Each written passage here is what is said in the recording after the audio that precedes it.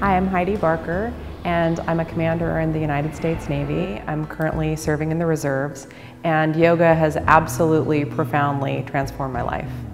And I feel like every day that I wake up, I'm a more compassionate, loving, and centered human being. I've seen it do the same thing for other members of the military. As they witnessed me doing my practice, they were also impacted and encouraged to start their own, and it helped them center and focus more, more effectively in their job. It is the coping mechanism for stress. Mm.